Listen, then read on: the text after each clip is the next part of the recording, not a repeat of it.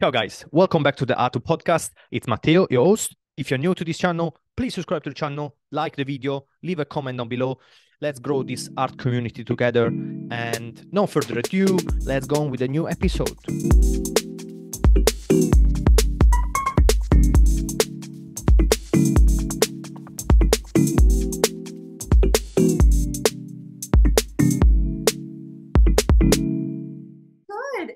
So sorry. It must be the middle of the night for you there.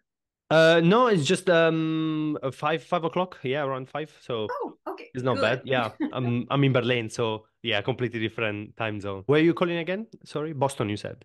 I'm near Boston. I'm in Providence, Rhode Island, but no one seems to know where that is, so I just say Boston. just go for Boston. Yeah, yeah, it's good. Good good. enough. Welcome back to the Artful Podcast, guys. Um, with me today, I I was I'm super excited to talk to you, uh, Natalie. I saw your paintings, and um, uh, I l- I love your your attention for details, and then yeah, and then we talk about your paintings a little bit later. But welcome, Natalie, to the to the podcast. you. Yeah, thank you so much for inviting me. It's just, it's a real treat to get to talk to somebody in Europe. Like, love the Zoom. Amazing. Yeah, yeah. It's it's one of my um I'm so lucky that uh, I want to do this and through Instagram, through you know social media, I get to the the chance to talk to artists from all over the place and and people that say yes like you and then I get into more like in the ad and how they think about and and uh, how to be an artist and I talk to people from like Africa and Europe and America. So yeah, lucky. It's a it's a it's a good it's a good thing. Yeah, yeah, for sure. That's fantastic. So um, for people that don't know you, maybe if you wanna just give a little bit of an introduction. So uh, where you're from, um, your background, and then we we start from there.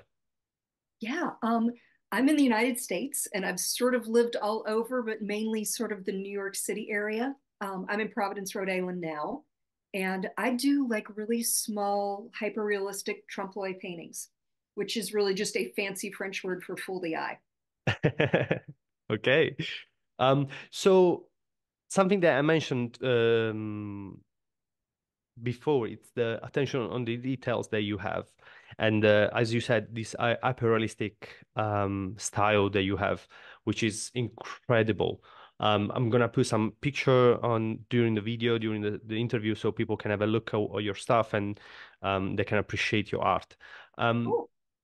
Something that i'm curious it's um did you start uh did you had any um background like studies uh art school or anything like that Yeah, this is a wild story. Um, I actually used to be a professional cellist. Oh, And okay. yeah, I know, right? I had a whole nother career. I moved to New York to do my master's degree, the whole thing, and um, just kind of realized like I didn't want to do it anymore. I had been playing the cello since I was a little kid. I'd gone to performing arts high school and left home when I was a teenager, and like that really was my career path. And I just kind of realized that like it wasn't that creative for me. And and Hmm. I was sitting in an orchestra and like kind of playing along with the notes on the page and realized that was not what I wanted to do. So I quit my master's program and decided I would take an art class just for fun because I'd never really gotten to do that because I was playing the cello. Hmm, yeah. So yeah, I just I started taking art classes in New York just as kind of like a fun thing to do on the side, and turns out I really loved it. So I had a, a complete 180 turnaround in my career. Fantastic. Fantastic. What at what age did you decide to change? Um, I was probably in my early 20s. I think I was 22, and Nice. really had, had never drawn or painted anything. So it was it was starting from scratch, tabla rasa. Fun- Yeah, exactly. Um, at the age as well, it's uh, it's quite brave to take, especially if you had kind of already a career uh, uh, already started. Like the age, it's already so confusing for many reasons, and Yeah. then start to uh, to choose to jump into a, a new a new career. It's uh, it's pretty brave and well done. Yeah. Um. So how did you um achieve uh this uh, level of techniques? Um, how long did it takes you? And um, and and I'm curious, like your your your um, like your practice, how did it change through uh, through time? Um, the it was always something that you was uh, you were in cu curious on uh, details and uh, um like what you're painting right now, or it jumped all over the place yeah. and then? I kind of knew from the very beginning. Like I didn't I loved making art, but like it was very clear to me I was attracted to realism. Mm. And that's probably my background in classical music. Like I think I'm just wired that way. I think maybe if I'd been like a jazz musician, I might have liked abstract impressionism. You know, I, mm. I think I just kind of I just gravitated towards that. Yeah. Um, so I, I knew I always wanted to make it look like the thing. very, very representational. And I think that also is just also coming with a music background. Something that I always admired was virtuosity. You know, whether okay. that's a violinist or an artist, you know, that that's always been something that I've always really loved. So, but you know, originally when I was first starting to draw and paint, like I loved Salvador Dali. Like he was one of my favorite painters. Hmm. And like, I don't know if you've ever seen the the basket of bread that he's done. That's sort of a companion piece to his his huge Christ yeah, figure. Yeah, yeah. I actually just saw this in Spain, like in person, a few months Amazing. ago. Yeah, um, we saw his museum there, and it was incredible, like to get to see that live. But like, what a what an impression that made on me as an art student. Just that level of realism. I mean, it's such a gorgeous painting, and it's not something I think I you you really associate a lot with with Dali, but it was amazing. So yeah, it's a it's a fun uh, Dali. It's a fun one because obviously it's um it's the iconic painter for surrealism, mm-hmm. and we don't think of surrealism like details and stuff like that. Um, it's all about you know the dream and the world that you can create in in word into the world, and it's more. But Salvador Dali had such an amazing attention to details and to mm-hmm. the realism in the surrealism. I don't know if it makes sense. Yeah, but no, I remember absolutely. one time, I think um, I was in Madrid and I uh, we saw one of the Salvador Dali uh, paintings, and I was uh, it was incredible. The he he's famous for you know this the hands in the paintings, so it has a lot of painting with hands, and the details to like the actual hand, like even the smallest one, it was so realistic and it was crazy. So it's is is a fun one. Um, I think it's yeah for the surrealism that it represents. It's so it's such a like contrast when when you see the paintings. It's, it's so realistic. Yeah, and Magritte like is another like mm. surrealist painter that really inspired me as a as a young art student. You know, because again, like he has this narrative and the surrealism, but there's also a high level of representational painting. So, yeah, I mean, painters like that really, when I was younger, really informed, I think, the path that I was on.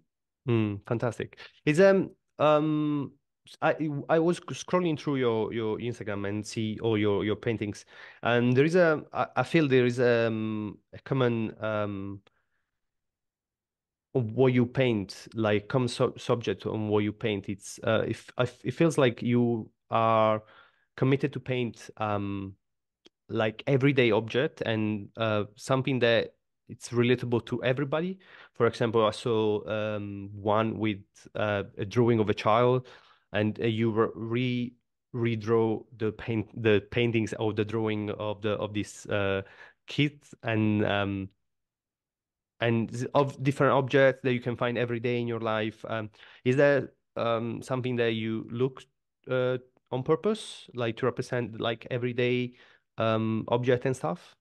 I think so. I mean, like like mm.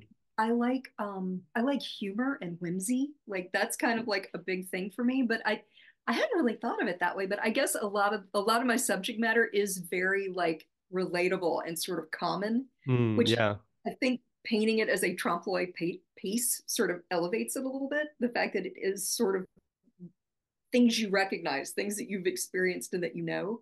I think having that trompe l'oeil experience where it's not sure if it's painted or not, I think probably the choice of subject matter. Yeah, I hadn't really, I hadn't really thought about it, but I think that's it's, it, that's very interesting. I mean, yeah, that, that. that's that's um, that was my feeling when I saw when I saw your paintings. Is uh, was um, there was a lot of uh, even if I didn't see the exact uh, thing of, of, for example, this drawing of of these children, um, if even if it wasn't the exact one, I I know it brings me a memory of something that I saw. So I saw already uh, children drawing somewhere at some point. So it relates to me um, like that, and even like objects that you that you paint. It's it's all like stuff that you can find in your in your house and um, that that was pretty a warm feeling and a nice um, feeling that I had when I was scrolling through um, your Instagram. Imagine like if you see it from from life, it will be yeah, it will be amazing.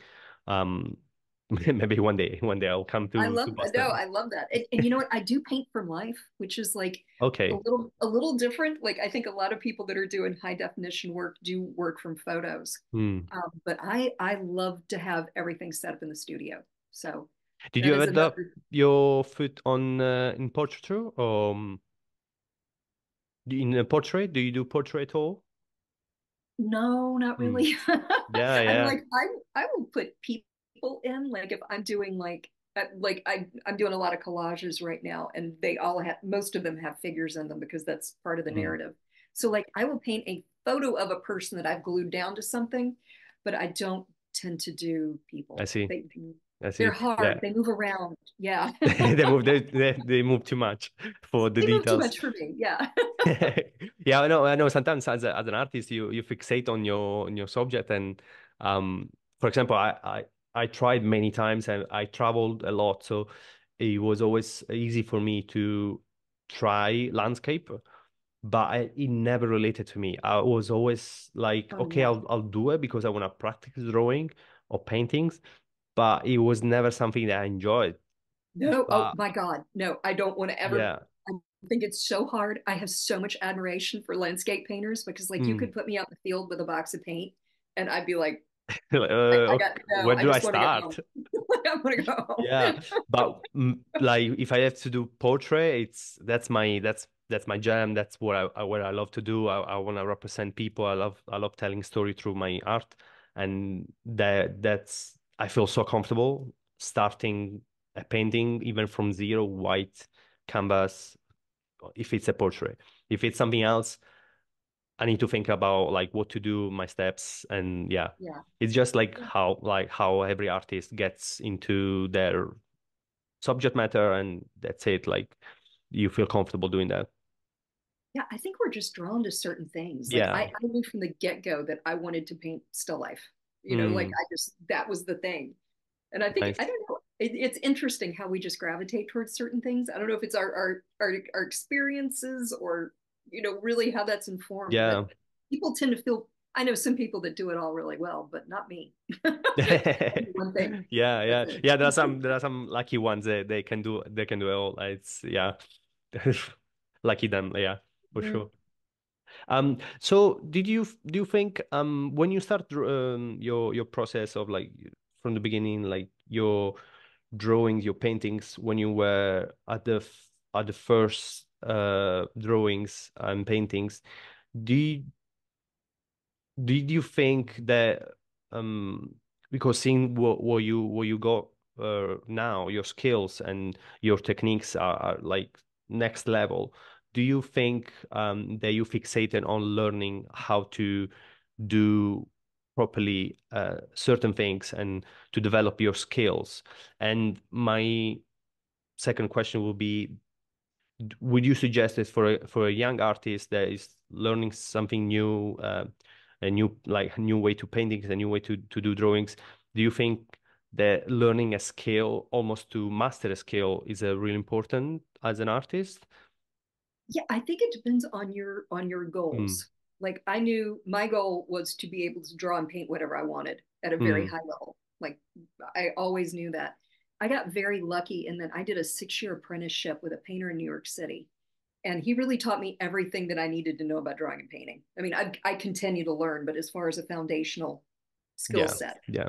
you know, and it was a lot of cast painting. It was a lot of drawing. It was step by step. It was very methodical. I mean, it took me six years to get through his entire program of drawing, monochrome painting, color theory. You know, it was, but it was incredible training and it was a lot of practice. And it also gave me a skill set so that when I am on my own working, I can kind of figure out what I need to do. You know, if something's not going right, I, I kind of have a Mm, toolbox to get me back on track. Now that was very beneficial for me because of what my goal was, you know, and, and I would I would say to anybody, any student who wants to learn to draw and paint representationally, having a strong foundation in drawing You know, Yeah. like you can't, you'll never draw. I mean, like that's you got to be able to draw really well. And and another thing that I found really helpful that I still work on when I teach is monochrome painting. You know, it's like a lot of people it, it is not sexy. I mean, let's be No, clear. yeah, It's it's not sexy. It's not fun. But like the skill set that you can get as far as learning to handle and manipulate paint, understanding values, understanding how you can turn form. You know, if you just have a simple cast or even a simple geometric object, yeah. you can learn so much doing that. And so for for me, that was really valuable. Mm. Yeah, value is such a, an important part of paintings that um it's kind of like everybody knows it, but nobody really gives them much of importance. And I think if you if you learn how to use the value to the point that you can even use no realistic painting, no no realistic colors, you will it will make sense. Everything will make sense. Yeah, Yeah. but value is such a, an important um, part of painting that everybody should learn to almost to like to the book. Um, and then they, you can you can learn how to play with it. You can you know you can challenge it with the crazy colors and crazy shapes and crazy forms. But if you have that, as you said, that foundation, uh, so important, so important. Um, even if you don't want to do hyper realistic draw painting as you as you do, um, but yeah, it's uh learning like the foundation. It's um it's always something that I suggest to younger and no young like when I talk to to artists. Um, and um, I I was uh looking at to uh, your uh, your Instagram and um you have a, like a really strong uh, social media presence.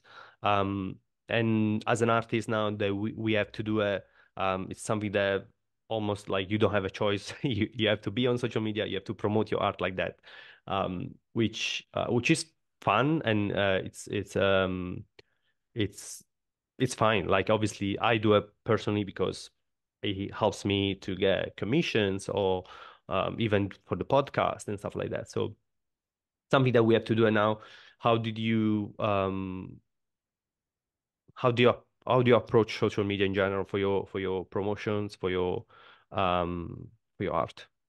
Yeah, I mean, you know, I kind of feel like like it gets a bad rap. Like I really enjoy Mm, Instagram. I don't post so much on Facebook, but like I love Instagram because like I've met so many great people. You know, like we're getting to talk today. This wouldn't have happened without that, you yeah, know, true. without that platform. So like I genuinely enjoy it. Like I like posting. I like interacting with other people and commenting and like looking at art. And so I I genuinely have a good time with it.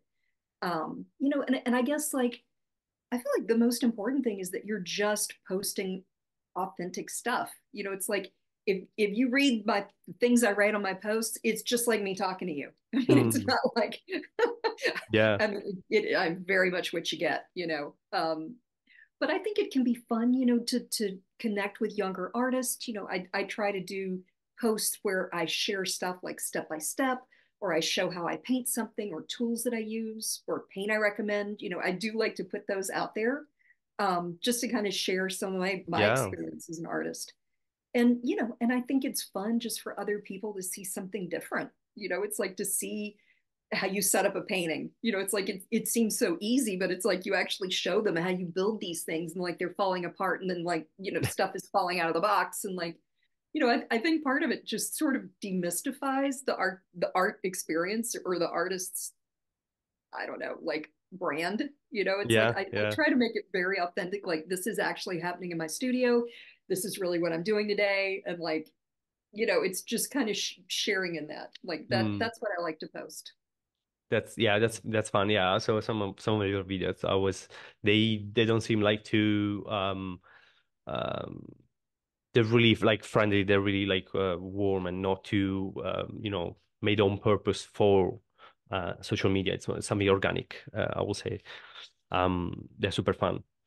And um, so how do you what do you want to uh, achieve with your paintings? Because um, it's uh, something that you um, it's more it's more for you basically doing doing paintings, or it's something that you want to um, achieve and get to uh, with your paintings. For example, like I love I love what I do. I love my art. Um, but I feel I feel like I need to I need to use my art to share stories.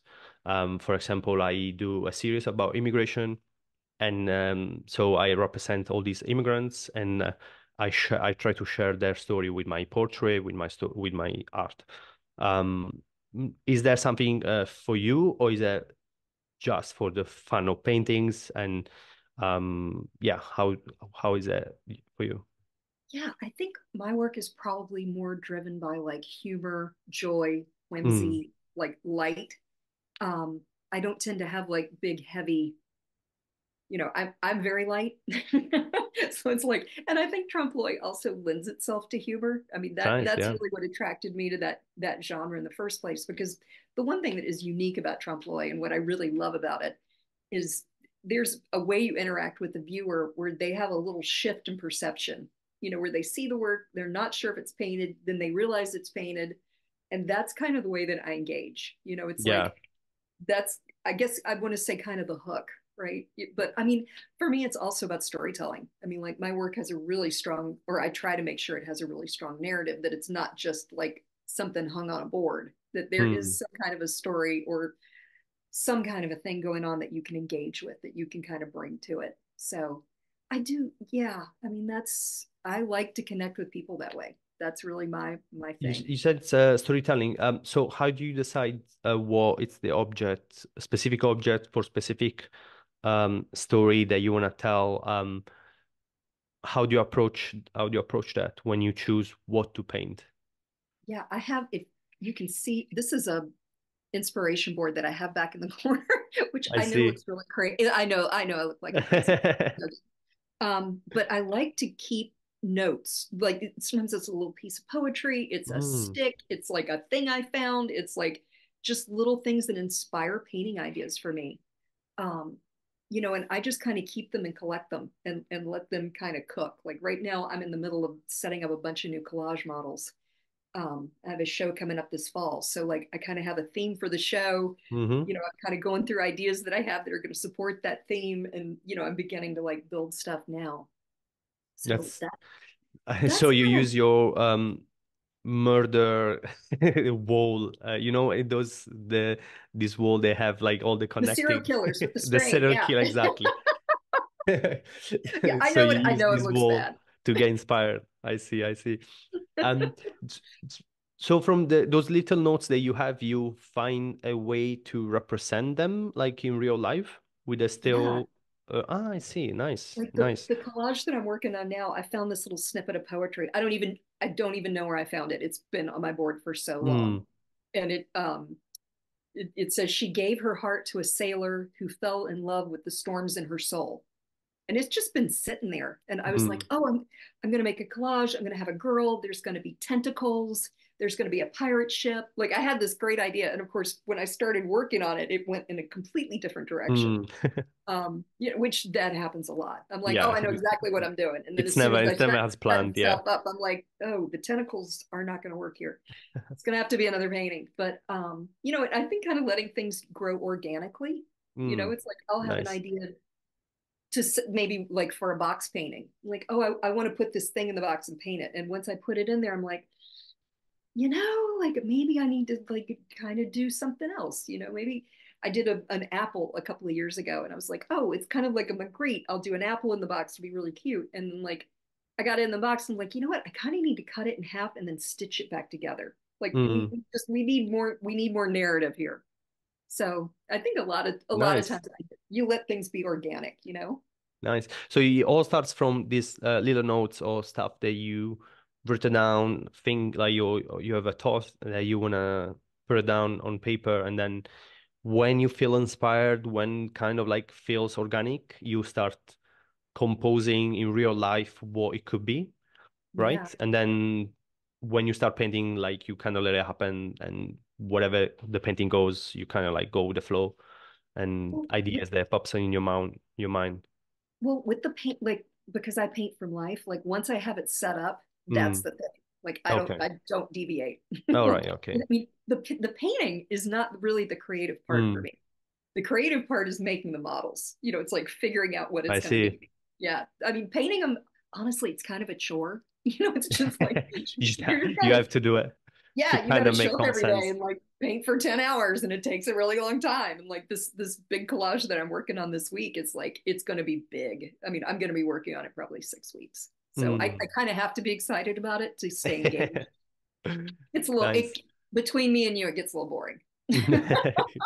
It's um it's a similar um so it's the whole the behind the scene that it's more excites you and makes your brain like sparkle.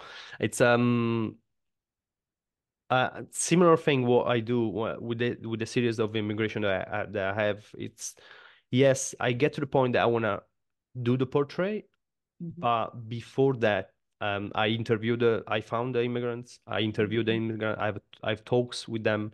Um, it's it's it's all like learning from them, sharing the our experience as people that travels and as a, immigrants, and the portrait, yes, represent that, but the process before is such a vital part for for me to get to the portrait. So it's a similar situation with your yeah um Yeah, I mean, your La Maquette. You need that information to be Mm, able to bring to to express you, the interaction the two of you have. I mean, the, the portrait is like a dialogue. So mm. it's like the, the more that you know about that person and their experiences, I just would think like that's going to inform the painting so much. Exactly, exactly. Yeah. And um, before I, I don't want to take too much time of, of, your day. Um, before we we leave, uh, last question that I try to ask um, all the um, all the artists that I interview, uh, especially if they have all the experience that you have as a painter.